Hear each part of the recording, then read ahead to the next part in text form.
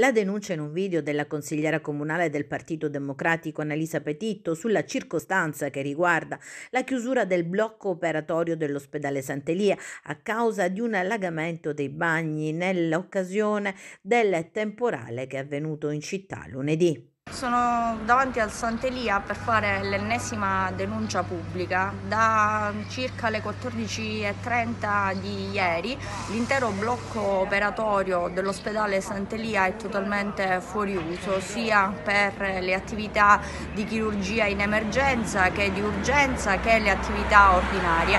Oggi diverse eh, persone mi hanno chiamato raccontandomi di essere stati rispediti a casa, di essere stati dimessi perché non potevano essere operati, opera, eh, operazioni previste per oggi. La causa sarebbe lo straripamento del, eh, delle acque, dei servizi igienici, delle aree antistanti eh, il, le, sale, le sale operatorie con il conseguente allagamento e tutto a causa delle forti piogge. Bene, se ammissibile che salti un tombino per le strade, eh, non è assolutamente ammissibile che una pioggia possa comportare l'arresto di tutta l'attività chirurgica di un intero blocco operatorio che costa di 8 sale eh, operatorie. Io chiedo che la uh, direzione strategica eh, dia immediate notizie ufficiali alla cittadinanza e questo anche in considerazione del fatto che mi risulta che da provvedimenti